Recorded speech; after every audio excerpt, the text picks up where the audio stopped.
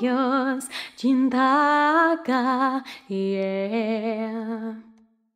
One happy birthday dot com.